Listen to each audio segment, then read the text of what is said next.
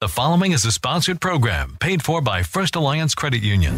Welcome to Good Money Moves featuring Jenna Taubel from First Alliance Credit Union and Andy Brownell. Here's Andy Brownell on Rochester's News Talk 1340 KROC AM and 96.9 FM. Welcome to Good Money Moves. I'm Andy Brownell with Jenna Taubel, AVP of Marketing at First Alliance Credit Union. Hi, Jenna.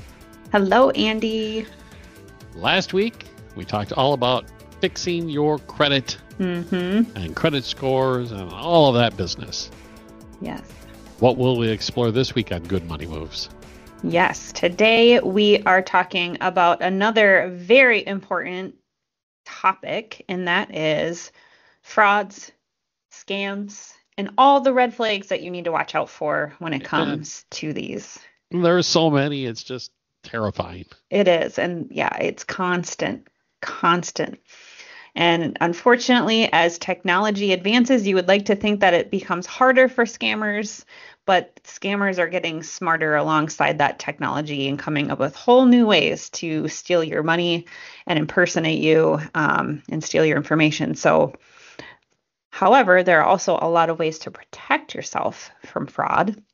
So today we're going to take some time to kind of break down some actionable steps that people can take to protect themselves and talk about some of the common scams that are still happening.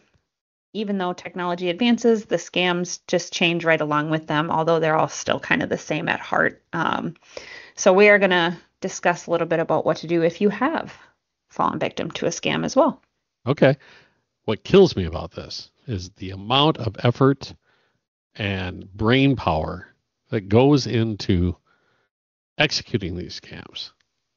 Yeah. The, the people behind it, if they would direct all of this energy towards something productive, I bet Mhm. they'd be fairly successful. Right. Yeah. I agree. Oh, I agree. gosh. Well, scams, obviously, if you follow the news at all, can happen to anyone. Yes. Many of us know family members or good friends who have fallen for it because they're getting more and more sophisticated. I remember not that long ago receiving an email from Amazon that looked completely realistic, Mm-hmm. saying there was a problem with my account, blah, blah, Yeah. blah, blah. And I, it almost got me. And Yeah. then I went, well, wait a minute. This is the wrong email account. This shouldn't be. Yeah. It's, my Amazon account is tied to this email account, not this my work account. And I went, oh, that was close. yeah. They're tricky. They're Okay. tricky. So maybe to start out with, Jenna, can we talk about the, I guess, the most popular types of fraud scams that are out there and circulating? Yeah. Yep. So there's, I think, several scams that you probably hear about the most, um, especially in recent years. And I would say the top ones that people should really be mindful for when it comes to fraud and scams is number one, phone scams. These are really common and do tend to target older adults. Um, scammers basically call pretending to be the IRS or maybe a tech company or even a family member in distress sometimes, all in an effort to try to get your personal and financial information. I got to tell you a true story.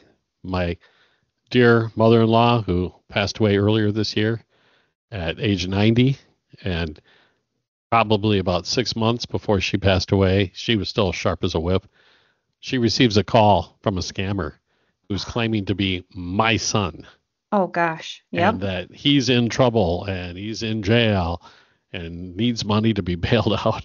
and, and this is great because Joanne's response was, This isn't Jerry. There's no way because he'd know he'd never call me to get bail money because I wouldn't give it to him.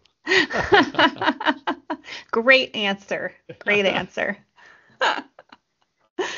yeah, those those family member in distress scams are especially heartbreaking because they really are taking advantage of people who just want to be helpful.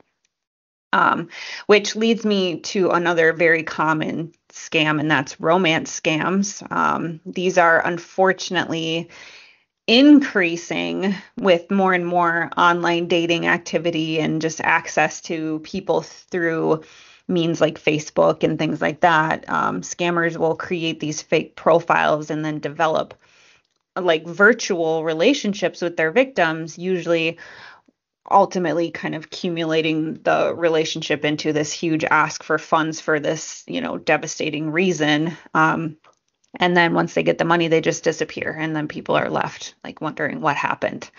Um, another really common scam uh, is, of course, credit card scams. These happen when, you know, someone gets a hold of your credit card information and then they start to make unauthorized purchases using your card, sometimes even before you realize what's happening.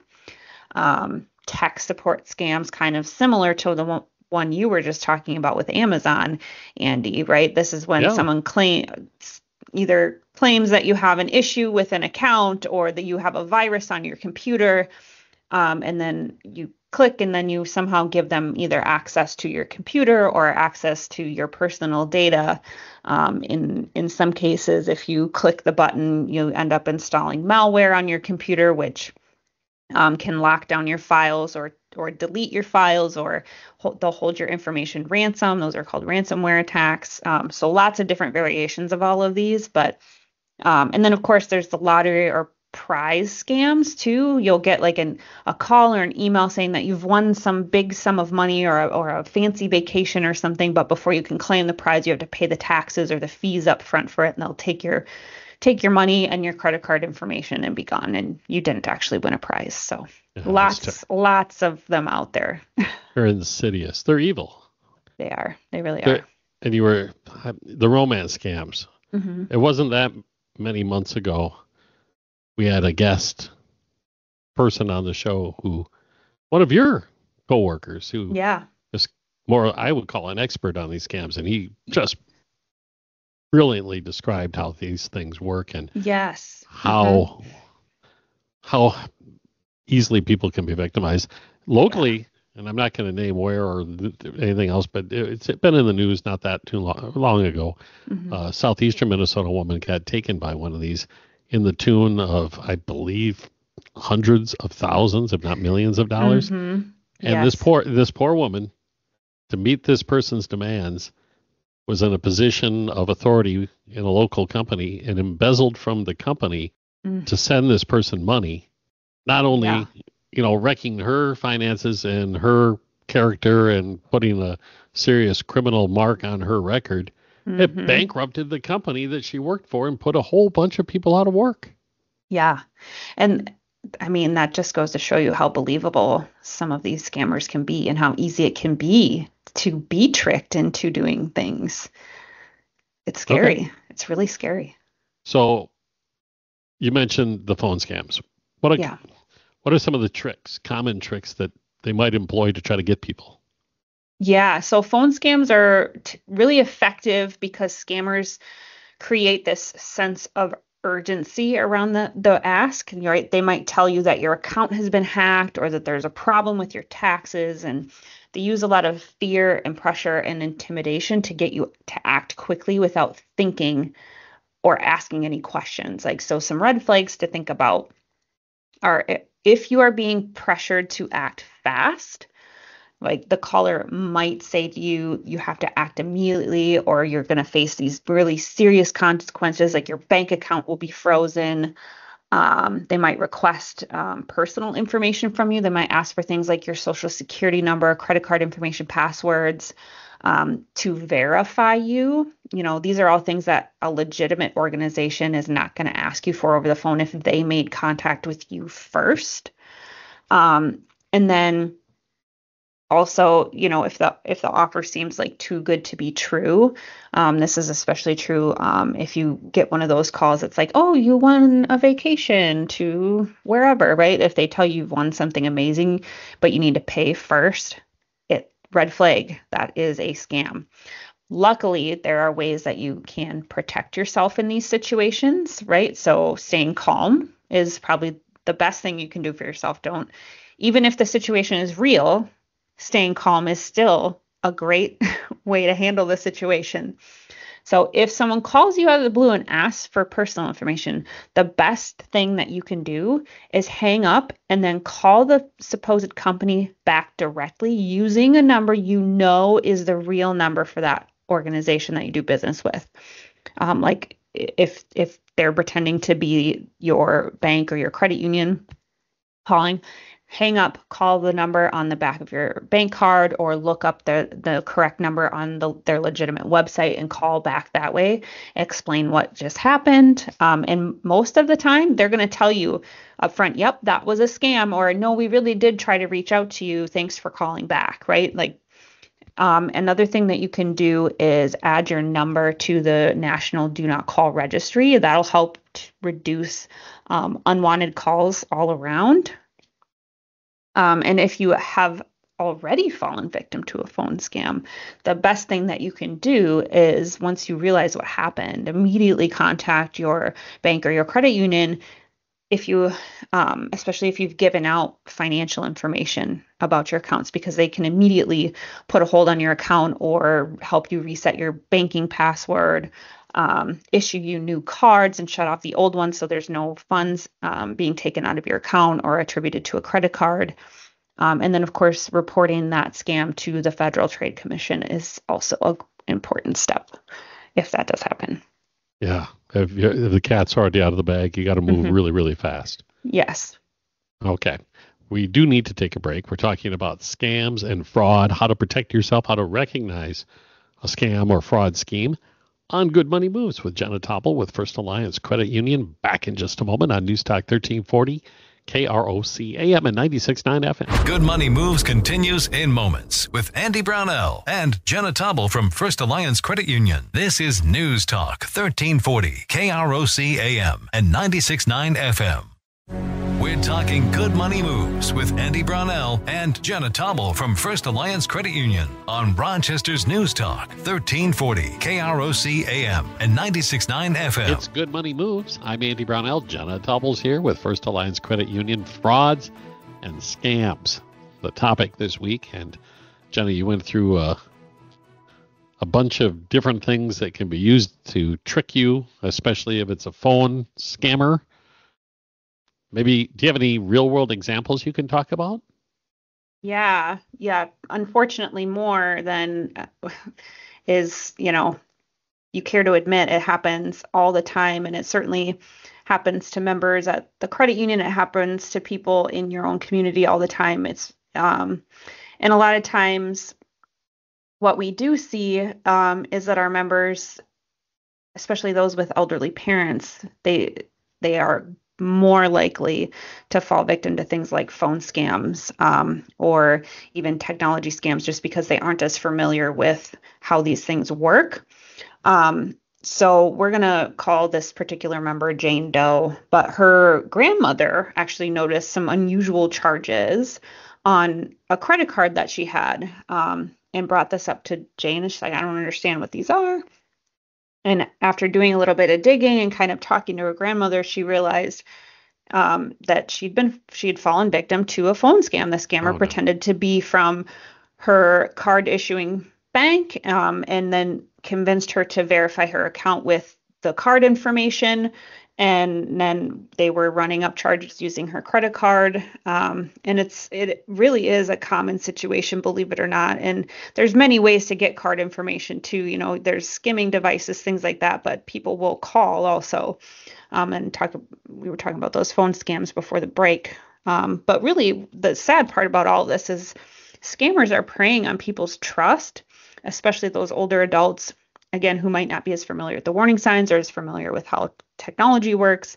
Um, and in this case, you know, the, the grandmother should have just hung up the phone and then called her bank directly and using the number on the back of the card to verify. Um, but what she didn't think about was they were pressuring her, you know, giving her a lot of those red flags that we talked about before the break, you know, saying, well, we need to verify this information right away. If you don't give us this information, you won't be able to use your card or you'll be charged fees. Like the very common red flags for this, but she was flustered and just wanted to get the call over with. So she gave him the information.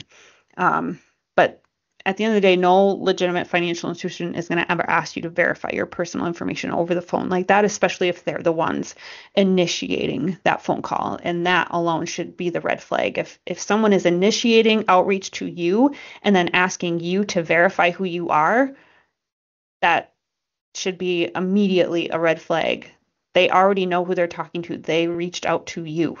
so just right. some things to, to think about. And I've seen on social media in response to news stories about these scams, mm-hmm. there's the inevitable, I can't believe they fell for it comment. And I've course. talked to law enforcement about this topic many times. Yeah. And they will tell you these folks are doing it are very skilled at what they do. Yeah. And they they do things to purposely put you into a panic and then they'll just continue to apply the pressure and mm-hmm. try to confuse you and make you pivot so rapidly your head is spinning. Uh, yes. And, and they're very good at eh, sounding like they care. We've had um, members who have fallen victim to scams where they're like, it was so legitimate. They were so nice and helpful on the phone. And we're like, well, that they still scammed you. Like yeah. it, it's wild. It to your point, it's just it's crazy how good at manipulation these people are. And speaking of manipulation, romance scams, that's as about as manipulative as you can get. Yes. How do they yeah. usually operate?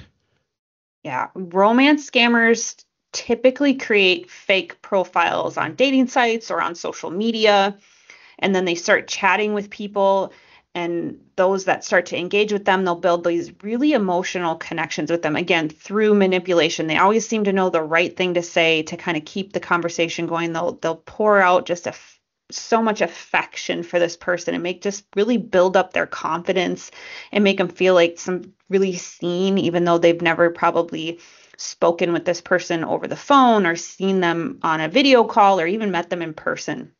They're really good at building these virtual emotional connections with their victims, usually because the, their victims are so desperate for romance, right? And once they've earned the trust of the of their victims they start asking for money. And sometimes it's small little asks here and there. Sometimes it's a really big ask right? And typically it comes after they've made a promise to see you or to meet with you in person. Um, but then all of a sudden they they'll claim they're in trouble or they have an amazing investment opportunity that they just need a little bit of funding for um, and the key here, though, is that there's always an excuse after the ask of why they can't come meet you in person. Yep. Always. So that's a really big red flag right there. Um, but a, a few other things to be mindful of if you're kind of starting to question the legitimacy of an online relationship that you're in is things might be moving really fast. So if someone you've just met online starts saying that they love you after only a few conversations, that's a huge red flag.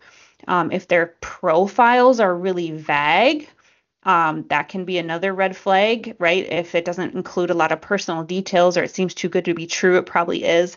A lot of times they will use um, pictures of like men in uniform when they're trying to talk to women um, or really younger women when they're trying to talk to men to scam money out of men. So just be kind of mindful of even the imagery that they're using in their profile pictures is going to be really misleading.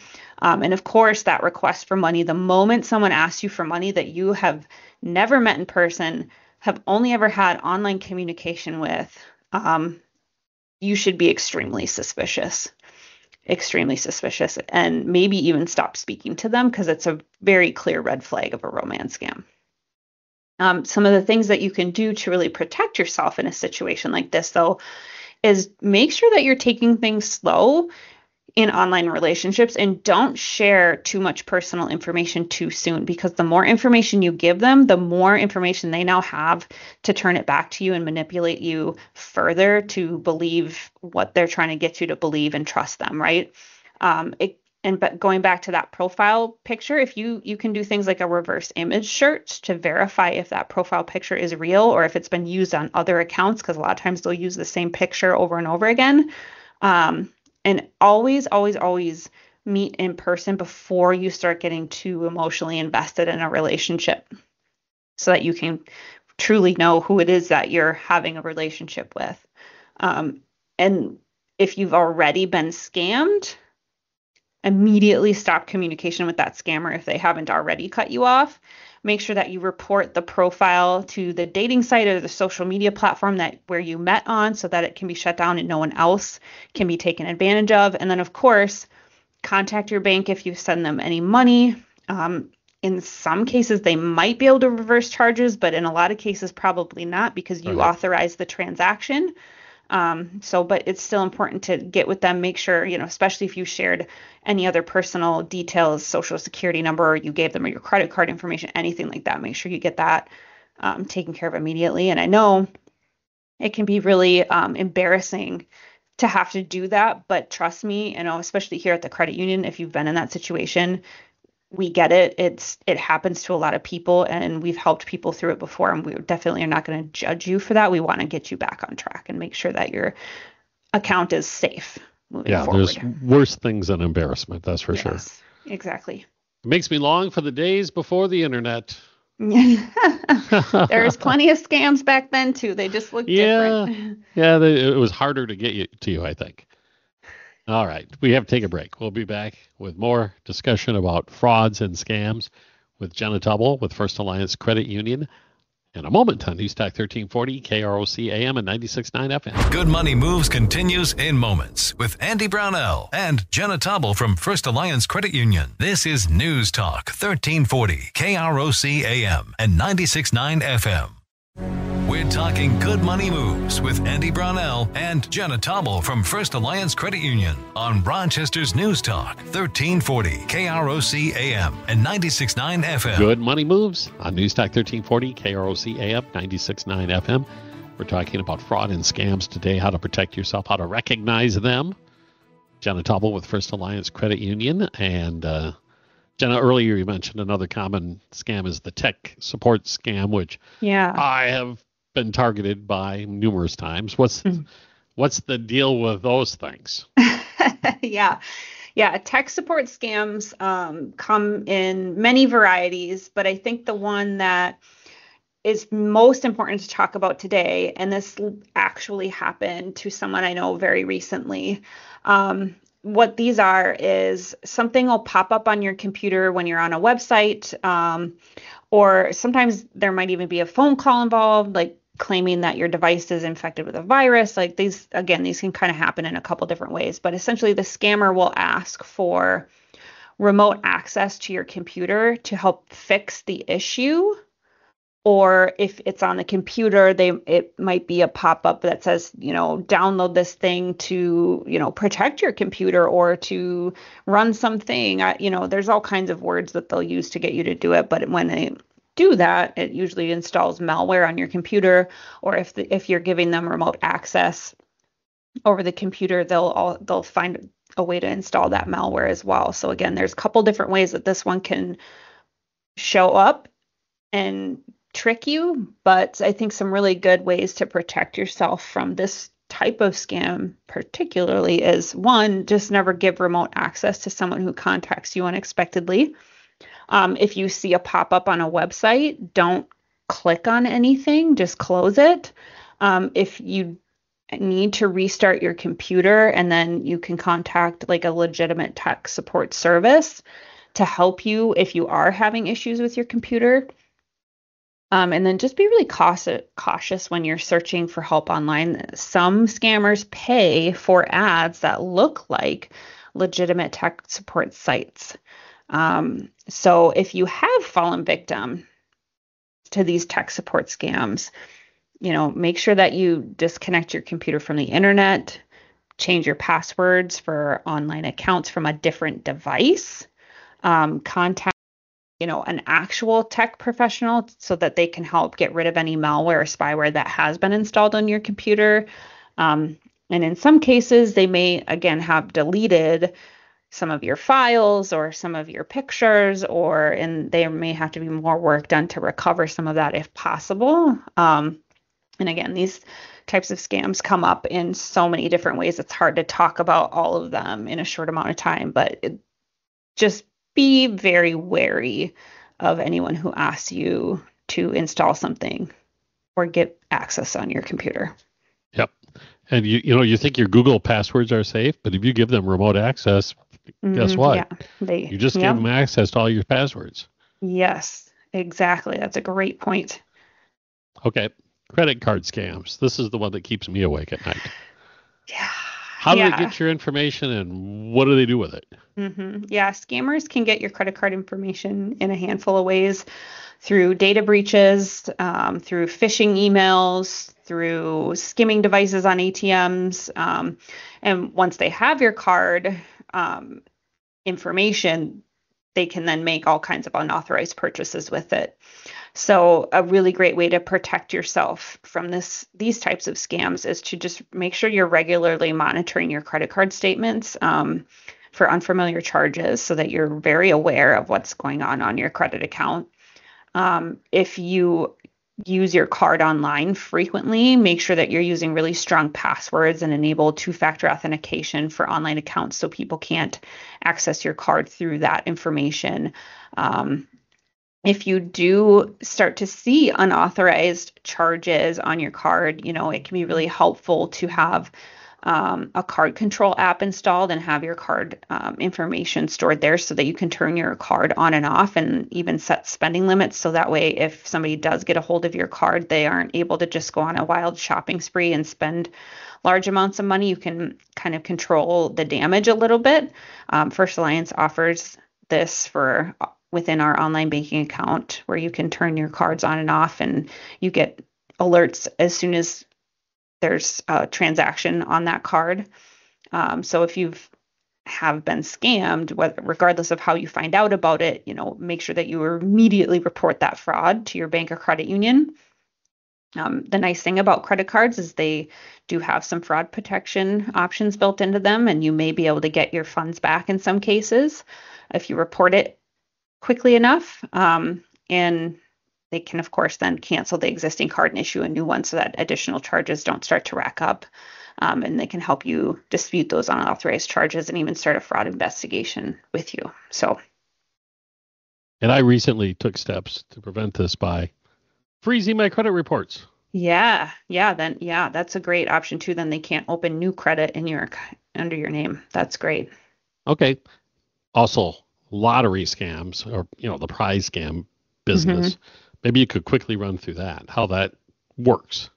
Yeah, so these are where someone claims you've won something, but there's always a catch. You have to pay taxes up front or fees up front. Um, and these scammers are really preying on people's excitement about something.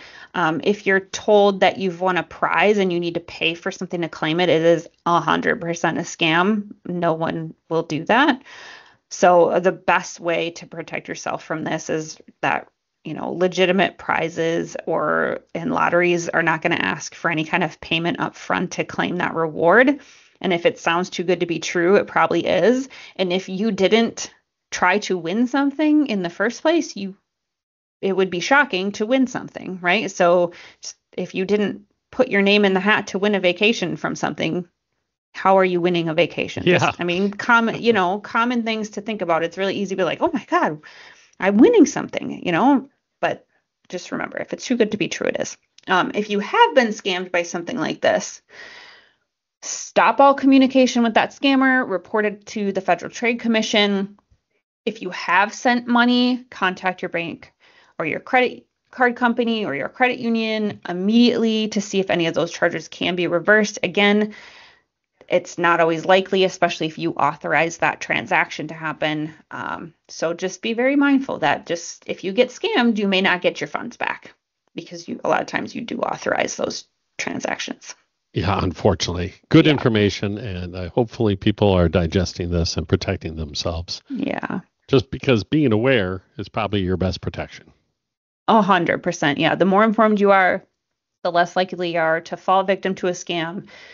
You know, if something sounds too good to be true, it usually is. And just be really cautious and trust your instincts and always just double check a trusted source if something feels off. And if, if, especially when it comes to things like those um, phone scams where someone pretends to be a family member or a romance scam, like trust your gut. If something just doesn't seem right, trust it ask questions. Great advice, of course, Jenna. and of course, I'm sure there's a lot more information available out there. mm-hmm. ironically, on the internet. yes. so, could you point us in the direction where we can learn more to make good money moves? Yes, as always, I encourage our listeners to visit our legitimate website, firstalliancecu.com. Subscribe to our blog. We release new financial tips and advice there regularly. You can listen to past episodes of this show at firstalliancecu.com slash podcast or on krocnews.com. You can also subscribe to Good Money Moves on Apple Podcasts, YouTube Music, and Spotify. And as always, I encourage you to reach out to our team at First Alliance Credit Union. They are here to help you start making good money moves today. That's First Alliance Credit Union, federally insured by NCUA and an equal housing lender. Thanks a lot, Jenna. I look forward to next week. Absolutely. It's Good Money Moves on Newstalk 1340, KROC AM, and 96.9 FM.